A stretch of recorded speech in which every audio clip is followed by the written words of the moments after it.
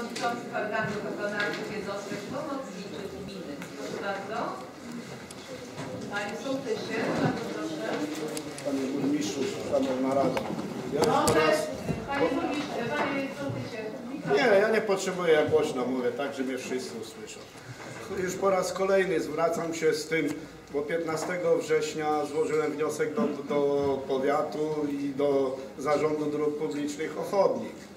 Nawet tylko kawałek przy tym odcinku cegielni, bo te pobocza są tak rozjechane przez te samochody ciężkie, że dzieci naprawdę nie mają którędy przejść do szkoły. No do tej pory, no w zeszłym roku to chociaż do listopada dostałem odpowiedź, że nie będzie, bo nie ma pieniędzy. Kazali złożyć za rok wniosek. Złożyłem wniosek, teraz do, do już koniec mamy stycznia, no nikt się nie odważył, nie wiem, czy za mało jeszcze ludzi tam pracuje, nie, nie dostałem odpowiedzi, czy będzie, czy nie będzie. Yy, Później drugą sprawę mam, rolnicy z niepokojem patrzą na nasze łąki tutaj Bielawy. Nie wiem, czy gmina będzie coś czyniła, żeby odciąć od kanalizy deszczowej te szamba, co są z połowy Kcynik podłączone, bo nie ręczę, czy w tym roku nie dojdzie do zasypania wylotów. Bo nie ma takiego prawa, żeby ktoś bezkarnie mógł niszczyć czyjąś własność. No co roku się z tym uporamy. Teraz ten rów, co troszeczkę odbierał, jest zamarznięty. Teraz tafla lodu już robi się, już dochodzi do, do rogu i coraz dalej jest zamarznięte. I później przyjdzie, że to my będziemy kosić, dawać zwierzętom i sami w tej chemii, bo moi Państwo, po takiej zimie dosłownie 10 cm jest kożuch. Z tego, co pozostaje, co spłynie później, co spływa z miasta. No i ja mam takie pytanie do pana dyrektora komunalki. Dostaliśmy wnioski, no aneksy do umów o podpisanie śmietników. Za jeden 110-litrowy pojemnik wyliczono nam 14 zł 24 netto. A za 1100 litrowy, no to jest dziesięciokrotne przebicie, jest tylko 66 zł. Mieszkańcy kazali mi się spytać, dlaczego? Tu jest połowa, tu nam wychodzi 14 zł śmietnik, a tu by przeliczyć po 7 zł, to ten śmietnik wychodzi po 7 zł. Dlaczego jest tak duże przebicie? Ja rozumiem, że są koszty może mniejsze dojazdu do tego, no ale nie przeszło 50%. Dziękuję. Dziękuję bardzo. Pan Burzyna. Panie Burmistrzu, Pani Przewodnicząca, Szanowni Radni, zaproszeni goście. Y, Panie Burmistrzu, ja mam pytanie do Pana, bo Pan wspomniał, że prowadził Pan rozmowy z rolnikami właśnie tutaj y, z terenu sołectwa Turzyn, na których to gruntach miałby przebiegać ten y, chodnik. Chciałbym się dowiedzieć czegoś więcej, czy coś tam zapadło, jakieś decyzje od tych rolników, czy nie. I druga moja y, interpelacja jest, y, minął rok, jak składałem wniosek do Zarządu Dróg Wojewódzkich na sesji o oświetlenie tych y, spowalniaczy tutaj słynnych przy też na ulicy Szubińskiej i przy szkole w Mycielewie. Czy wiadomo jeszcze w tej sprawie, czy to będzie oświetlone, czy nie będzie oświetlone, bo jest kolejna zima, kolejne krótsze niebezpieczeństwo. No i kolejna sprawa, chodzi mi o tą barierkę nieszczęsną, to też do Zarządu Dróg Wojewódzkich. To jest barierka, która tutaj łączy drogę gminną z drogą wojewódzką. Pytanie uzupełniające e, właśnie kwestii dotyczących e, i związanych bezpośrednio z zalewaniem e, nieczystościami łąk. Ilu odbiorców czy dostawców nieczystości jest podłączonych do tego nowego odcinka kanalizacji, który tam dwa lata temu został oddany do, do użytkowania? Jak postępuje ten proces przyłączania, wykonywania tych przyłączeń, przyłączania? E, Ja przypominam, jednym z zarzutów w tym protokole pokontrolnym to jest brak efektu eko- ekologicznego. No, ten czas też jest niezbędny na to, żeby przyłączyć się, czy wykonać te przyłączenia, ale ten okres już no, ponad dwuletni minął. E, I, I właśnie, bo myślę, że, że, że e, jednym z powodów, jeżeli nie ma tych przyłączeń, to jest właśnie to zalewanie tych łąk. Nie tylko ten odcinek ulicy, która jest niewykonana, mówię o Wyżyskiej, tak, i, ale, ale tutaj ta starsza część, kolega Kulicki też tutaj e, no, przypomina, że pozostała część miasta też jest w wielu miejscach bez przyłączeń. Nie? Dalej funkcjonuje stary system odprowadzania nieczystości, czyli poprzez e, sieć kanalizacji deszczowej, burzowej. e, Co do, co do tego skateparku, to, to ja to potwierdzam, moje, moje odczucia też były takie. E, o ile sobie przypominam, się nie mylę, ten, e, to zadanie było realizowane ze środków e, poprzez Stowarzyszenie tak, e, e, Partnerstwo na Krainie i Pałuk. I e, czasem e, myślę, że nawet ten skatepark to był jednym z elementów, który wpływał na punktację, na, na atrakcyjność tego wniosku. To jest jedno. A na dzisiaj też my kształtujemy jako no, współczłonek tego e, partnerstwa e, zadania, jakie będą realizowane. I e, taka najnowsza informacja. Na stronach Agencji Modernizacji i Restrukturyzacji Rolnictwa jest taka informacja, że środki na różnicowanie działalności w kierunku nierolniczej są dostępne wyłącznie właśnie za pośrednictwem takich stowarzyszeń, lokalnych grup działania. My mamy właśnie to partnerstwo. No i partnerstwo wygenerowało te środki, konkurs już jest zamknięty na to różnicowanie, ale też zawężone jest wyłącznie do działalności turystycznej, tak? E, rozwoju tej bazy e, agroturystycznej, e, hotelowej itd. itd. Yy, I tutaj no, taka moja sugestia na przyszłość. Może troszeczkę zwrócić uwagę na działalność gospodarczą, jaka powinna być kreowana właśnie w takim terenie, który jest no, gospodarczo niedorozwinięty. E, Atrakcyjność turystyczna jest, e, ale też mocno ograniczona tych terenów i skierowanie tylko środków wyłącznie na to też jest mogę tutaj powiedzieć z całą odpowiedzialnością za swoje słowa, mocno dyskusyjne. Mocno dyskusyjne, bo tutaj turystów ani możliwości utrzymania się z agroturystyki nie zapewnimy, tylko z działalności gospodarczej. A na tą działalność tych środków nie ma i tutaj też yy, no, nikt tego nie zauważa. I prosiłbym, żeby przedstawiciele nasi yy, w przyszłości, bo już sprawa jest zamknięta, więc po temacie, jeżeli takie środki yy, będą, no na to zwrócili uwagę. Yy, Przywołuję, poprzednie rozdanie też dotyczyło takiej właśnie działalności.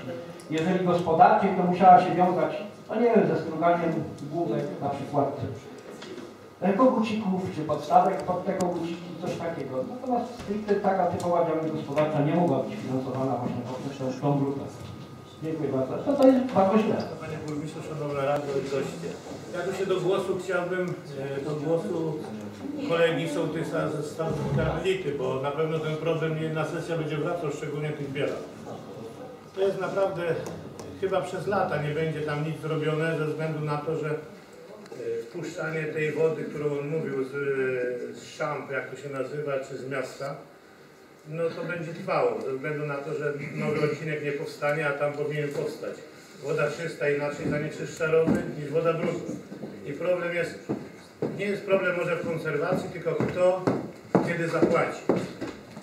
I chodzi o to, że jakieś pieniądze na spółkę tam są przyznane, ja nawet nie wiem jeszcze dokładnie ile. Natomiast y, forma realizacji tych pieniędzy jest bardzo długa ze względu na przetargi na to, czy nie można to było jak inne ościenne gminy się dowiedzieć metodą zlecenia, bo to nie są wielkie pieniądze, żeby musiał być przetarg. Zleca się zrobienie danego odcinka, z tych pieniędzy się płaci spółce i się robi. Ale problem to jest tylko taki, y, jakby można pienięży, natomiast problem jest konserwacji tych y, rowów polega na tym, że już nie ma, nie ma gdzie wywalić. Wywożenie tego błota, tego szamba, po prostu no, nie jesteśmy w stanie e, to wywieźć. Wywalanie po jednej stronie są już szuwary, że nie idzie wjechać koparkami, po drugiej jest droga, żeby musiał to być wywiezione, ale gdzie i przez kogo? Tutaj współudział powinien właśnie może w ramach tej pracy pomóc, bo można załatwiać jakieś inne jeszcze pieniądze, jakby się dało, plus te z gminy e, zakład gospodarki komunalnej w rękach pana prezesa jest, jaką formę możemy tu gospodarzyć, bo wywalanie to na drogę, to znowu rolnicy krzyczą, że nie idzie dojechać i koło się zamyka. A to nie jest tylko problem czyszczenia samych biela, to jest aż, można powiedzieć, pod Grocholin, bo ta woda niesiona z tym namułem, to się rozciąga i woda nie schodzi aż pod, można powiedzieć, pod Grocholin do rozciągu.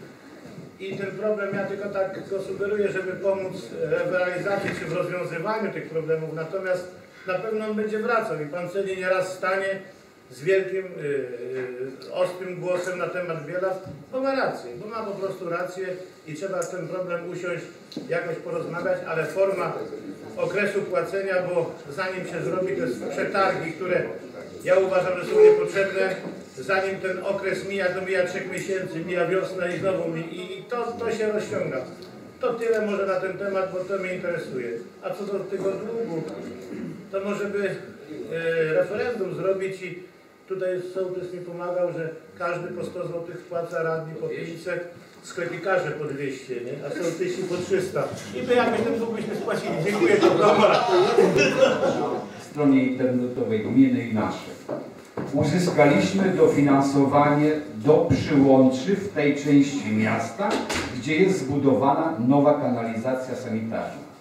73 nieruchomości, nieruchomości, nie z gospodarstwa domowego, nieruchomości w ramach tego programu zostaną podłączone do nowej kanalizacji. W 90% bierzemy to na siebie.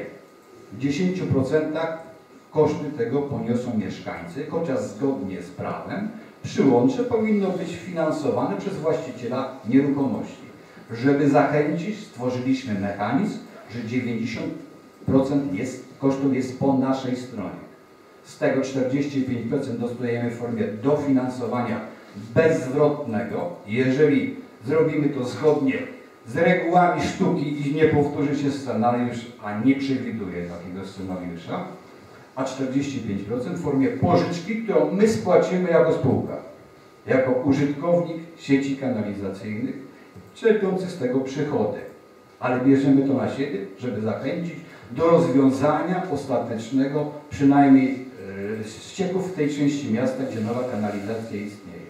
W drugiej części tego komunikatu informuję yy, mieszkańców Kcyni, że chcemy skutecznie rozdzielić obydwa systemy. Bo teraz jest tak, że do kanalizacji deszczowej idzie część ścieków, natomiast do nowej kanalizacji sanitarnej idzie część deszczówki. Tak to zostało stworzone, tak to zostało przepięte. Chcemy to skutecznie rozdzielić. I zrobimy to. Jeżeli chodzi o kanalizację deszczową do nowej części kanalizacji sanitarnej, to chcemy to zrobić szybko. To jest ten pierwszy krok, ponieważ zalewa nam oczyszczalnie. Normalnie 320-350 metrów sześciennych na dobę ścieków wpływa do kanalizacji dziennie, natomiast w momencie, kiedy pada deszcz, to jest 550.